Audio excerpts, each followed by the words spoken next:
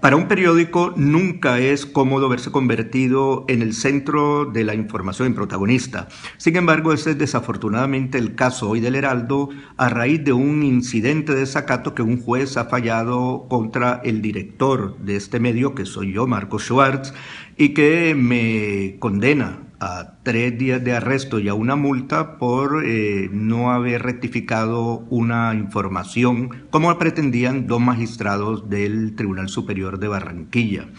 Esta decisión del juez eh, nos preocupa. Eh, la noticia, desde nuestro punto de vista, no merecía rectificación, sin embargo, hicimos múltiples aclaraciones recogiendo los puntos de vista de los magistrados y hemos llegado a este punto. Evidentemente, esto es un problema que afecta, digamos, una situación que afecta a mis derechos personales, pero lo que más me preocupa es que también afecta la libertad de información eh, en un país tan, necesitada de